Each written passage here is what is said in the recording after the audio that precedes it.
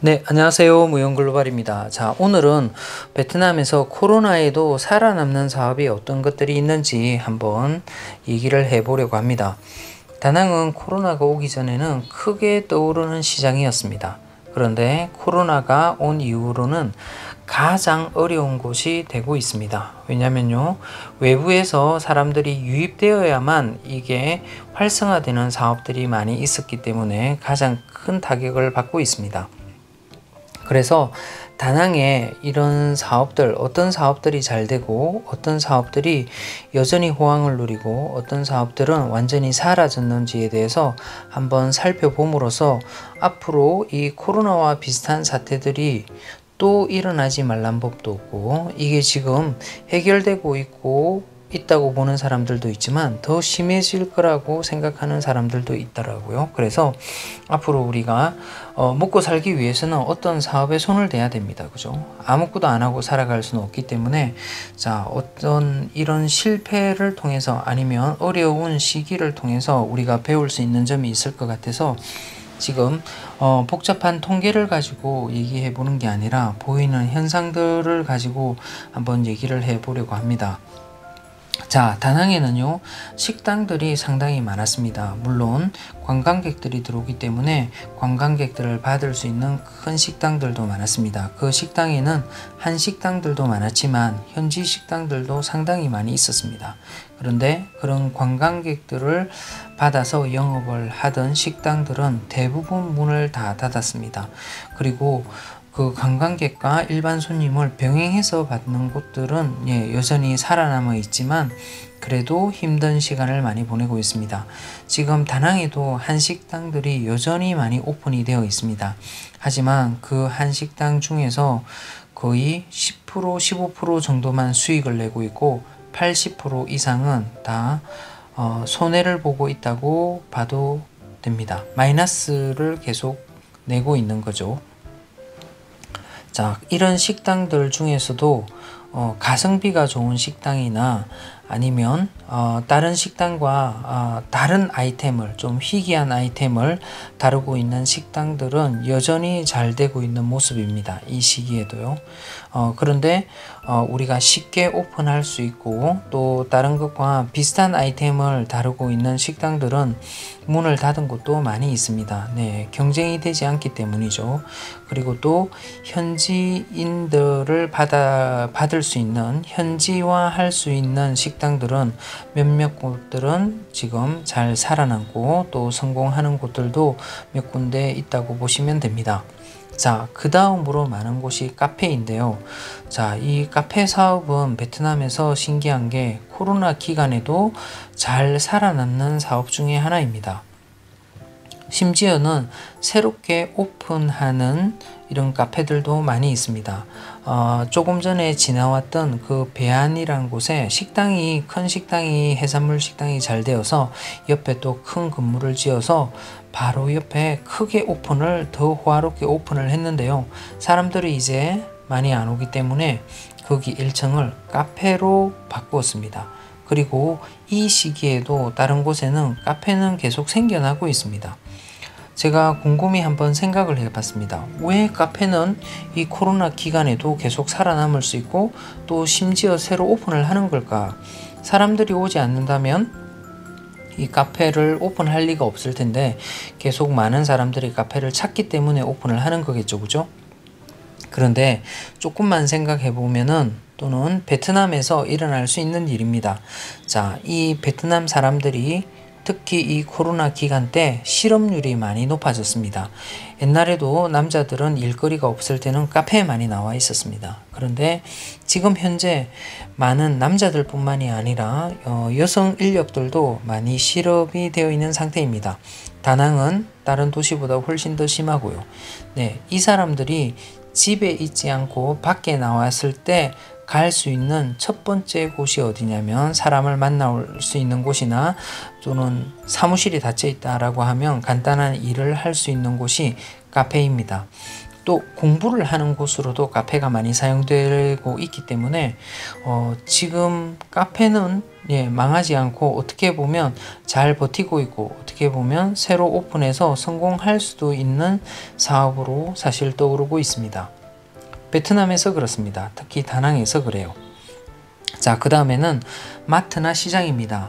마트는 한때 봉쇄가 되었을 때 매출이 올라갔을 때도 있었습니다. 그렇지만 현재는 많은 마트들이 물론 한국인 대상으로 하는 마트들도 마찬가지고요. 그 다음에 어, 지역 마트들도 많은 곳이 문을 닫았습니다. 어, 마트는 사람에 비례해서 되는 사업이기 때문에 베트남 특히 다낭에서 많은 사람들이 빠져나갔습니다. 그렇게 되다 보니까 마트의 수에 비해서 사람 수가 적다 보니까 많은 마트들이 수익을 내지 못하고 문을 닫은 곳이 많이 있습니다. 어, 재래시장은 지금도 여전히 오픈을 하고 있고요. 재래시장은 타격을 받지 않는 곳 중에 하나입니다. 그런데 겉으로 보기에는 가장 큰 타격을 받는 곳이 관광 산업 중에 어디냐면 호텔입니다. 호텔.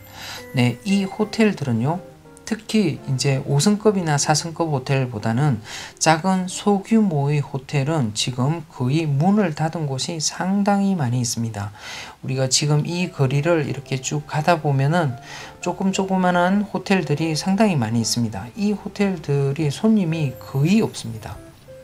그리고 옛날에는 사람들이 많을 때는 어 이거 한 달을 머무르는 손님들도 많이 있었는데요. 지금 현재는 그런 손님들도 다 빠져나가고 그리고 이제 조금 큰 이런 아파트, 조금 소규모의 아파트 와 그 다음에 호텔을 병행하는 곳들도 현재 큰 어려움을 겪고 있습니다. 지금 앞에 보이는데도 지금 호텔과 같은 건물을 짓고 있는데요. 계획된 이렇게 어, 호텔들도 많이 지금 생겨나고 있습니다. 아파트들, 아파트도 많이 생겨나고 있었고요. 코로나 이전에는 이런 공간이 부족해서 많은 사람들이 어, 머물러야 하는 그러니까 이 관광 산업 때문에 머물러야 하는 사람들도 많았고 또 베트남 현지인들은 큰 호텔을 찾지 않고 작은 호텔을 많이 찾았기 때문에 호텔들이 많이 부족했었습니다. 그래서 호텔을 지을 계획이 많이 있고 이렇게 지금 건물을 올리고 있지만 지금 현재 조그마한 호텔들은 거의 손님이 없다고 보면 됩니다. 가장 큰 타격을 입는 사업 중의 하나입니다.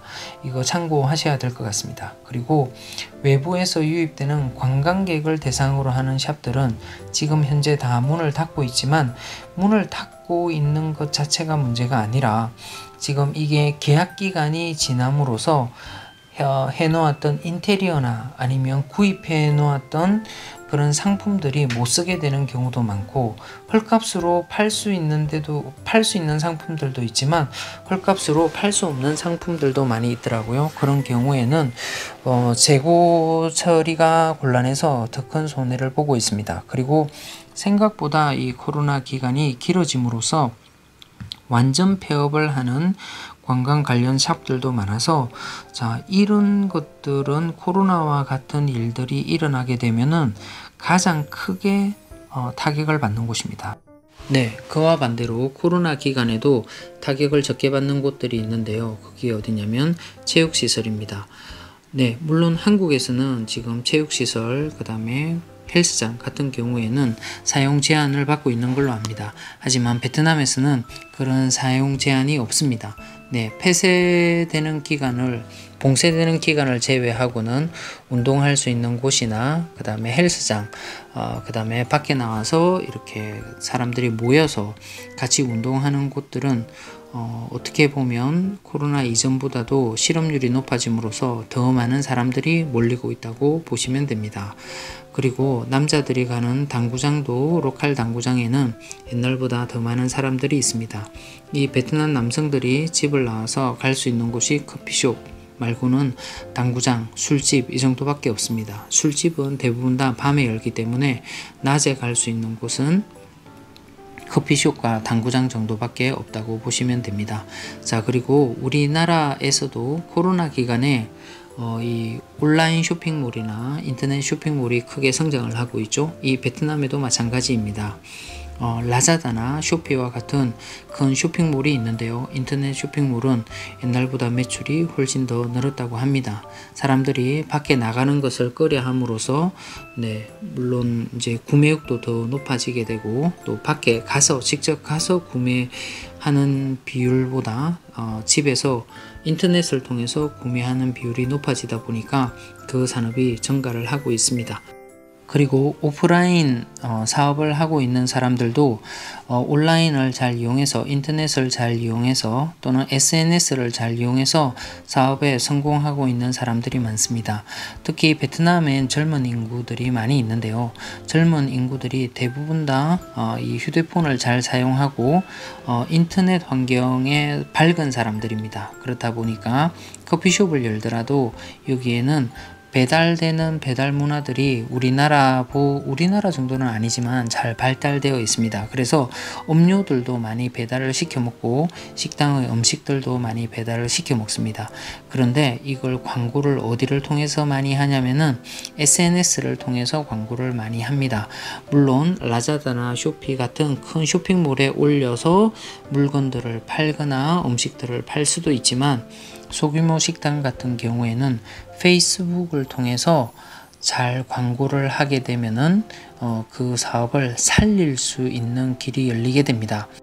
네, 오늘은 코로나 기간에 이 베트남 다낭에서 어떤 사업이 여전히 살아남고 어떤 사업이 크게 타격을 입었는지에 대해서 오늘 말씀을 드렸습니다. 물론 우리가 이 좁은 시장을 보고 전체적인 것들을 판단을 할 수는 없습니다. 하지만 이런 현상들이 일어났을 때 어떤 사업들은 유리하고 어떤 사업들은 힘들고 또 어떻게 돌파구를 찾을 수 있는지 하나의 예를 통해서 배울 수 있을 거라고 생각이 됩니다.